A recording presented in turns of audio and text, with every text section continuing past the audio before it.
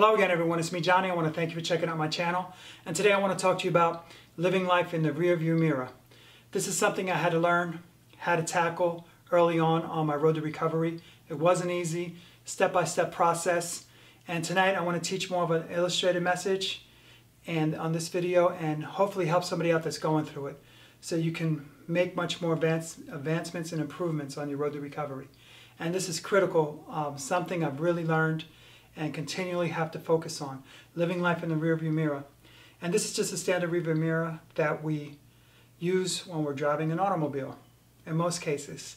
And I want to say when we're driving and we're focusing the front, what's in front of us, looking through our windshield, we're focusing on our destination, we're focusing on our future, we're focusing on where we want to obtain.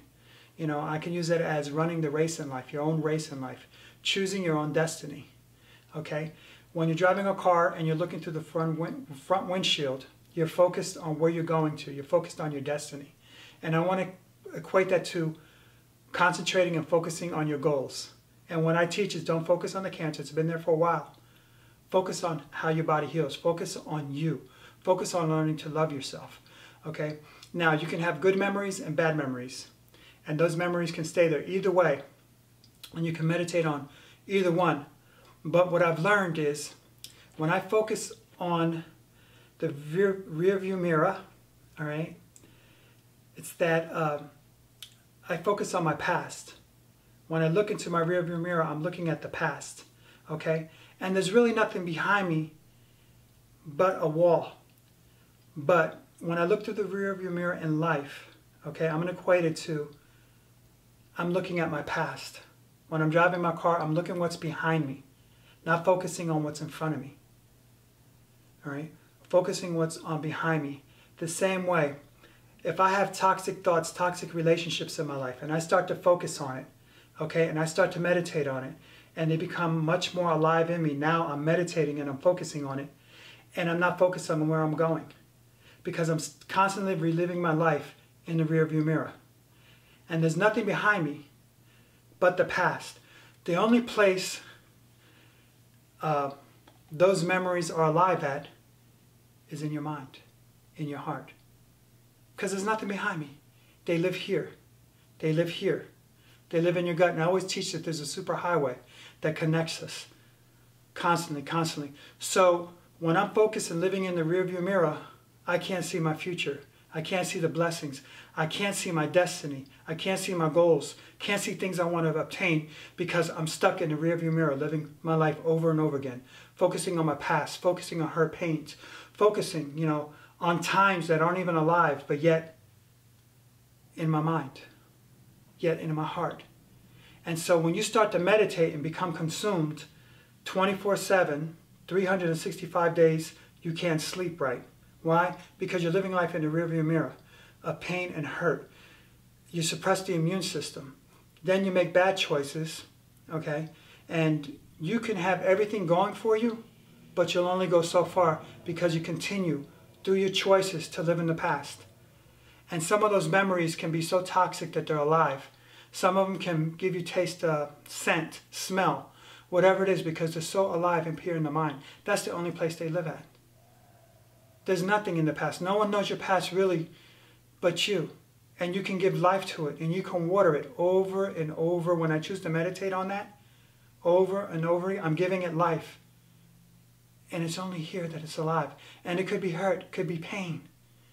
But as soon as we choose to meditate on and not deal with it, and the way dealing with it is it takes time to recover. This is one thing that I had to do when I got my diagnosis. I had to learn that I did it to myself and accept the fact that I did it to myself by my lifestyle, by the choices that I made, how I continued to live in the past, past hurts, past relationships, and they're all toxic relationships.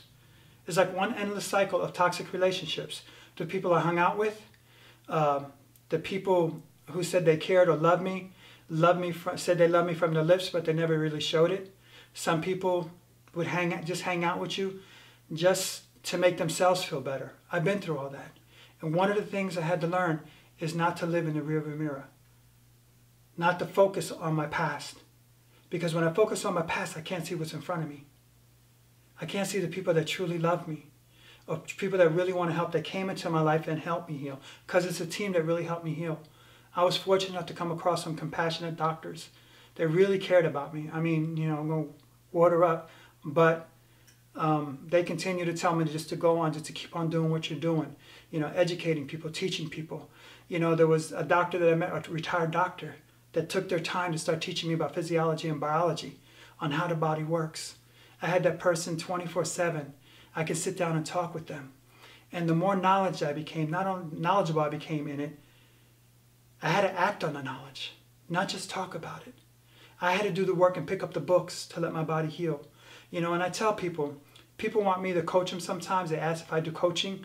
One day I will. It's different. One day I'm going to talk about the type of coaching I want to do, but I will I will do that.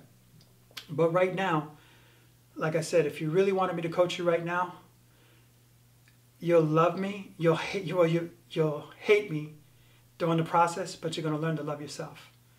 Because during the process, with all the hurt and the pain, dealing with the cancer diagnosis, heart disease, whatever it is, somewhere there's a disconnect. And I believe healing is spirit, soul, and body. It's just not one facet. It's just not drinking juices. It's just not taking supplements. You have to deal with self. And the hardest person that you're going to have to deal with is self and all the negative talk, talk that's going on in your mind over and over again that's been seated there. And it's like the more you meditate on it, the more life you give to it, the more it becomes alive in your mind. And that's the only place it's alive. It's here, here in your gut. And one affects the other. It's like a super highway. All right? So, you know, you have toxic thoughts here, it bounces to the heart, can make it go faster. The way you react. Now it affects your gut. All right. Now you sit up there with this thing going over and over again to where you can't sleep, you can't eat right. They put you on medications to help you. No. Those things are all toxic. It's only a band-aid. You got to deal with the real you I found out during my diagnosis. And I had to dig into to me and be brutally honest with self. Forget about everybody else. Forget about what people think about me. Forget about what they're saying about me. It really didn't matter.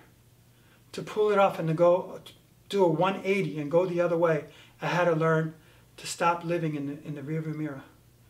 That the only thing that was alive in my mind is what I gave it life to. And that's by living it over and over again, the pain, the rejection. I'm no different than anybody else.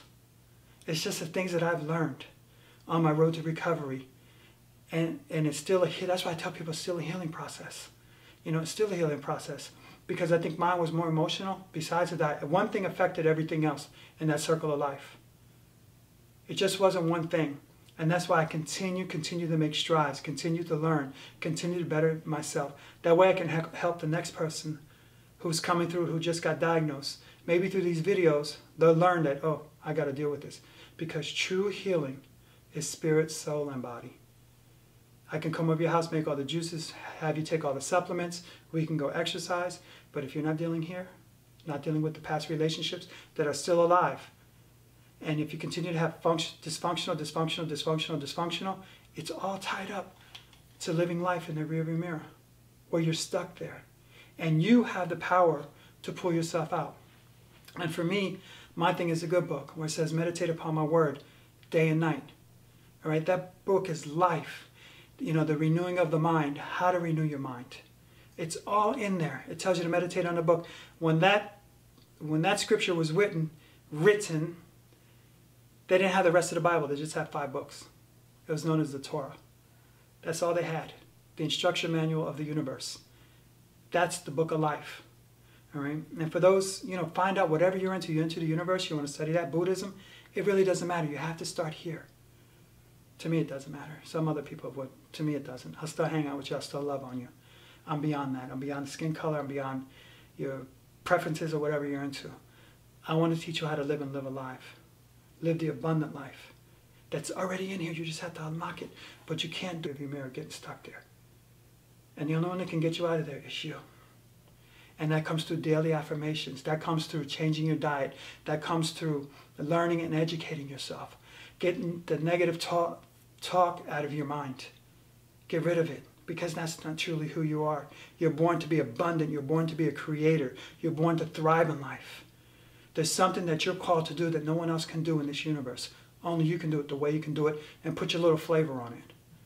People, you know, like I say in other videos, I can be a miserable, LeBron James, but I make a perfect Johnny Ramos. There's only one of me in the universe. In the history of the world, there's only one of me and there's only one of you. You weren't born to be a clone. You're born to be uh, one single uh, person with your own identity, your own fingerprint, your own eye print, your own DNA. No one else in the history of the world or the universe is just like you. And I just, I'm going to end it here. And I just want to thank you for paying attention and listening to my video.